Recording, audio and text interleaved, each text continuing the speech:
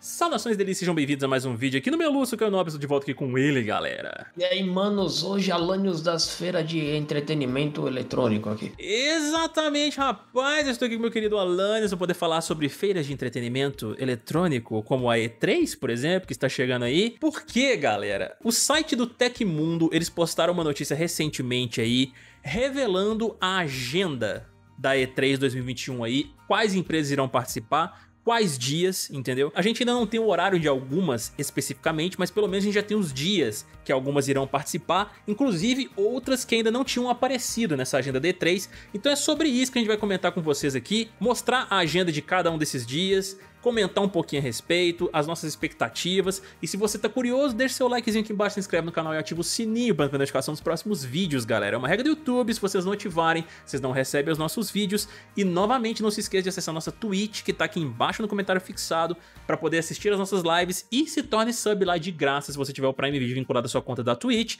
para poder participar de sorteios que a gente tem feito e também ter acesso ao nosso grupo no WhatsApp aí, específico para os subs e trocar uma ideia muito da hora com a gente também, meus amigos. Acessem aqui embaixo, a gente espera cada um de vocês lá. Então vamos lá, meu querido Alan, deixa eu trocar nossa tela pra gente poder começar a falar a respeito disso daqui. Estamos com a notícia do Tecmundo relacionada a E3, com o título aqui, ó. E3 2021 revela a agenda de conferências que terá até Capcom e Bandai. Olha aí, ó, duas empresas que a gente esperava que fossem aparecer sim, mas parece que elas vão estar individualmente aqui em um destes dias de evento. Então, vamos lá, ó. Faltando apenas nove dias para começar, a ESA, organizadora da E3 2021, finalmente revelou a agenda de conferências e conteúdo que podemos esperar no novo evento, que terá publishers estreantes como Capcom, Gearbox e outras. Confira a agenda a seguir. E aí, ó, a gente sabe que começa no dia 12, né, no sábado da semana que vem, e aí nós teremos, ó, o pré-show começando às 14 horas, aí depois E3 irá começar com as conferências da Ubisoft, Gearbox Entertainment e também uma sessão com a Games Beat. E depois nós teremos no sábado também a Direct da Devolver Digital. A Lan já começou a rir porque, mano, as conferências da Devolver são sempre as mais divertidas. Os caras são muito loucos, eles extrapolam num nível ali, né, Alanis, com relação aos jogos que eles apresentam.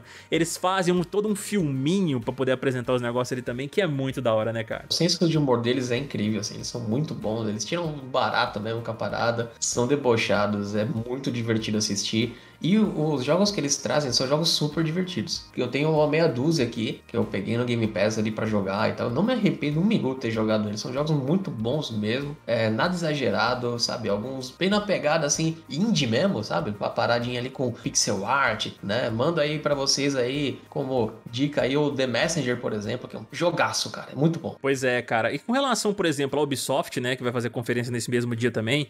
Eu espero muito ver mais do Far Cry 6, que a gente teve um gameplay dele aí esses dias, né, revelado. Eles devem mostrar mais do jogo pra nós, eu acredito, porque ele vai sair já no segundo semestre do ano. Eu espero que eles também mostrem mais pra gente, apesar do jogo ter sido adiado, né, do Prince of Persia, cara. Eu gostaria muito de ver mais gameplay com relação a ele, e ver se eles podem ter dado uma melhorada em termos gráficos da parada, porque a primeira apresentação que eles fizeram, sabe, apesar de eu ter ficado emocionado, que é um jogo que mora no meu coração, ele poderia ser melhor em termos de gráficos. Eu, a respeito do Prince of Persia, não vou nem comentar muito, porque assim que eu vi os gráficos, eu já fiquei com raiva já. Não gostei, não gostei. O Caio, não, mano, olha lá e tal. Eu falei, não, mano, não gostei. Os caras poderiam ter feito um negócio bem melhor do que isso aí. Porém, ficou mal feito. Não gostei, não.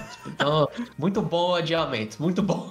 Traz negócio da hora pra nós aí. Além de também, eles devem trazer algumas surpresas pra nós, sejam de franquias conhecidas ou até mesmo de IPs que a gente ainda não conhece. Vamos esperar poder ver qual é. E aí, Alanis, ó, no domingo nós teremos o pré-show começando às 12h45, meio de 45 no caso, né? E aí nós teremos conferência do Xbox e Bethesda às 14 horas. Nós teremos apresentações especiais da Square Enix PC Gaming Show e Future Game Show e apresentação da Warner Bros, 24 Entertainment e de Back 4 Blood, que é aquele jogo estilo Left 4 Dead, entendeu? Que eu tô bem interessado em ver qual é, inclusive, porque é muito da hora, é muito frenético. E aí, né, Alanios? Vai ser a primeira vez que nós vamos ver o Xbox e Bethesda juntos, fazendo um negócio Sim. ali em conjunto e tudo mais, depois que a Xbox comprou a empresa, né? Então, assim, eu tô muito interessado em ver o que, que eles vão apresentar pra gente. Espero ver mais de Hellblade 2. Apareceu pra nós, foi muito impressionante o que eles mostraram ali, mas depois sumiu. Então, eu espero que eles mostrem mais disso pra nós, desse jogo especificamente, e que eles tragam também boas surpresas em termos de exclusivos pro Xbox, né, cara? O tio Phil, ele tinha comentado que a questão dos exclusivos ele haver caso a caso, né? Eu, sinceramente, não sou muito a favor de, de exclusivo. Eu gosto que a galera possa jogar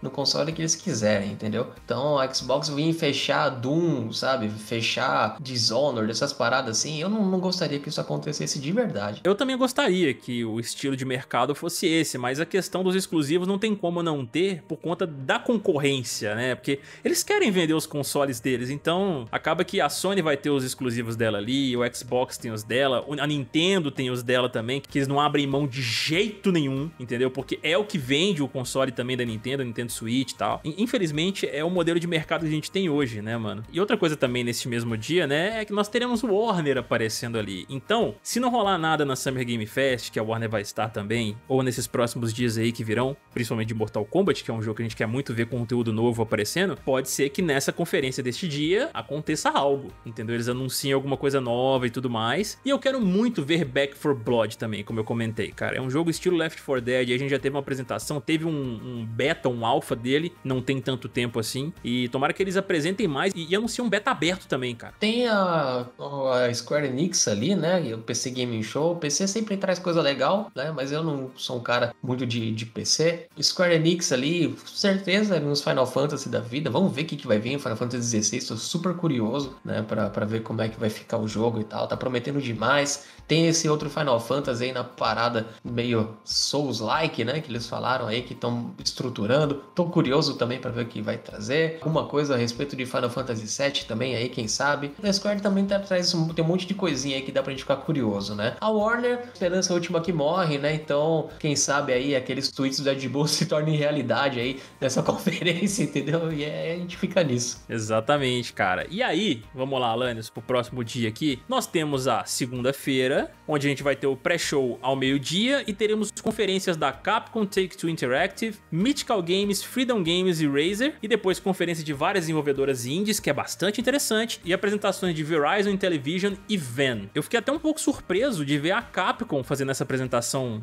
pelo jeito individual aqui, que normalmente ela tá dentro de alguma conferência, tipo Xbox ou então a própria Sony, né, que não vai estar no evento. É legal ver a Capcom aparecendo aqui assim, podendo fazer uma conferência dela. Tô curioso, mano, poder saber o que eles vão mostrar pra gente ali, o que eles têm pra poder trazer. A gente tem a Take-Two Interactive também, eles fizeram The Outer Worlds também, e Eleanor, entre outros jogos aí. Quero ver o que eles vão trazer de interessante, é uma empresa muito bacana. Indies eu acho que merece muito um espaço, igual eles vão dar aqui, sabe, na segunda-feira. Porque tem muitos jogos indies, a gente não cansa de falar isso, né, Alanis? Dá um tapa na cara de muitos AAAs, em termos de diversão principalmente. Mostra que não precisa de gráficos estrondosos pra você poder fazer um jogo divertido. Então eu tô muito ansioso para ver principalmente, cara, as apresentações dos indies. Não menos do que as empresas grandes, claro, mas eu quero muito ver as independentes também. Atualmente os desenvolvedores indies, eles são o coração da indústria, sabe? São os caras que trazem o respiro, né? Eles trazem ali o sentimento gamer ali com novas ideias e toda essa criatividade, sempre jogando a indústria para frente, assim. Os indies, eles são sensacionais. A gente precisa realmente dar bastante abertura para que esses caras possam crescer e fazer aí grandes sucessos e tudo mais, sabe? Merecem todo o nosso apoio.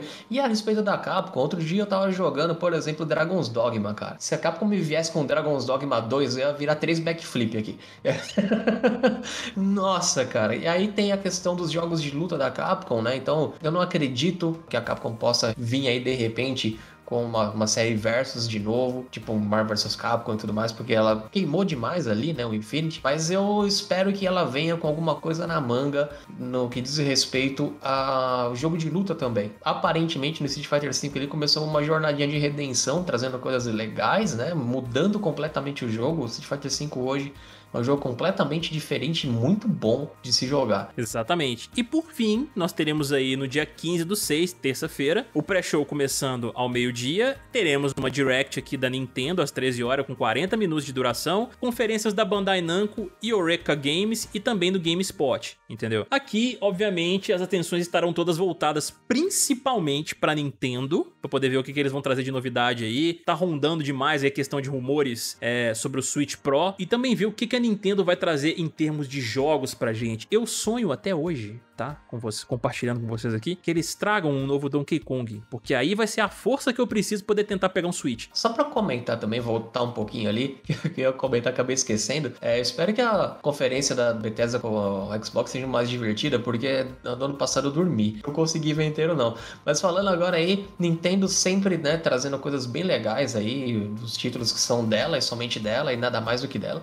E aí a gente fica esperando a curiosidade do que vai vir. E, cara, Namco é a, a nossa chance de saber se Elden Ring realmente existe ou se é só mais uma lenda que eles criaram, entendeu? Então vamos ver aí se nessa E3 a gente tem Elden Ring, né? Porque há uns tempos atrás aí vazaram alguns minutos de gameplay, algumas coisas loucas assim, mas você não ouve nada a respeito de Elden Ring, que muita gente, né, tava, ah, Elden Ring, Elden Ring, caramba, eu não, mano, até hoje eu só vi um trailerzinho lá, Mequetrefe, porque não trouxe nada para mim, só falaram assim, ó, a gente fazer um jogo novo. Então eu quero saber de que se trata esse jogo novo e espero que ele exista mesmo, manja. E eu acho que todos os holofotes estarão na Bandai Namco nesse dia também, por conta principalmente desse jogo. Tem muita gente já esperando pra poder saber que é um projeto bem ambicioso, e eu acho que eles devem trazer sim, cara, alguma coisa dele agora para nós, tipo um trailer de gameplay, alguma coisa assim, pra poder deixar a galera louca, meu amigo, na internet. Vai quebrar a internet nesse dia se vier Elden Ring com um trailer de gameplay robusto. Imagina se eles trazem também o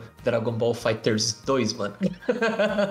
Tô deixando a gente sonhar, entendeu? Ai, cara, Bandai não pode trazer muita coisa boa, muita coisa Pode, legal. cara. Pode, muito da hora mesmo. Vamos esperar poder ver, mano, o que eles estão aprontando aí pra gente. E só lembrando, meus amigos, que a gente deve transmitir a maioria eventos pra vocês aqui no YouTube e lá na nossa Twitch também, tá? E por que, que eu digo a maioria? Porque a gente trabalha, então não vai dar pra gente poder transmitir todas as conferências, porque tem algumas que acontecem no dia de semana, tipo segunda e terça, que aí fica meio complicado, entendeu? Mas a gente vai fazer o possível pra poder transmitir o máximo pra vocês aí, pra conferirmos todos juntos essas novidades. A gente faz alguma coisa que rolar no nosso horário de almoço ali, mas sábado e domingo é nós. Então tamo junto aí, chorando e, e rindo junto aí com o que eles apresentarem pra gente. Exatamente, meus amigos. E agora a gente quer saber de você aí, querido espectador que está assistindo agora, com base nestas informações, essas empresas que estarão participando do ID3, quais as suas expectativas, galera? O que que vocês esperam ver nesse evento maravilhoso?